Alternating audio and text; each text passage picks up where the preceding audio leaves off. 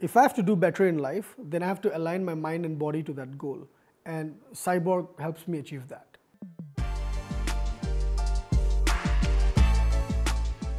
My name is Sharan Nair. I'm a crypto enthusiast. I've been in the crypto space for the last eight years running exchanges. I'm currently the chief business officer at CoinSwitch Kuber. See, I grew up in Nagaland, right?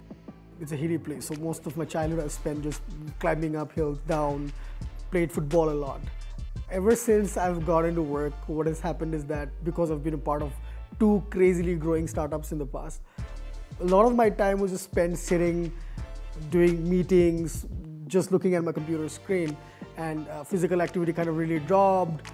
Food habits dramatically changed, and that kind of like really took a toll on my health. And then by the time I realized that it has like really gone bad, it was too late. But uh, nothing is too late, so I'm here to change that. When I was on Twitter, I started seeing a bunch of folks like really and people that I have tremendous respect for speaking so highly of Ultrahuman. So I called up a friend of mine and said, hey, listen, I need to get hooked onto this program. Like, you need to find people, get me onto this program. Boom. I was like, okay, this is real time, right? I'm consuming stuff and it's giving me a real time diagnosis of what's happening on my body. And that's a very powerful vision.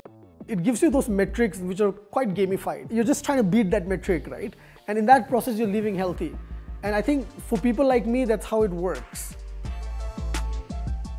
For most people, meat is bad, but what I realized is that when I increased my consumption of meat, my body started like falling in the glucose level that's recommended. I would screw myself over just eating rice and it just doesn't work for me.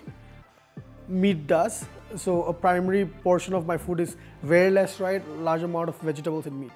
There's a very simple test that I've done that kind of really helps me. If I eat rice, and I do a listening skill. Just listen to something and comprehend and write it down. My performance is much worse compared when I eat meat. What it basically tells me is that my concentration has improved when I'm consuming meat as compared to when I'm eating carb heavy, something like rice. I am very thankful to Cyborg for two things. One, obviously the metrics. Second, it has helped me sleep much better. I did not realize the importance of sleep. I was somebody who basically said, oh, four hours is enough, you could go and do stuff.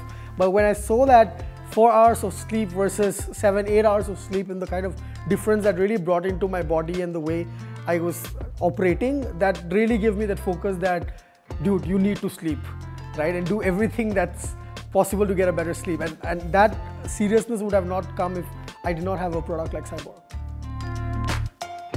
The thing about health and about being fit, right, it's not about always losing weight. When you start making changes with food and all of that, you don't see immediate results and that's why most people give up. But with Cyborg, what happens is that you see those micro indicators of change, right? The metabolic score, for example, your glucose levels, for example, and that gives you enough motivation to get better. But more importantly, I'm just thinking of this whole thing as not as a goal, but more as a journey that is just there, and it's like an everyday process. Once I'm like looking at the program deeply, I think I'll be able to find out the patterns that work well for me and then apply it for the rest of my life.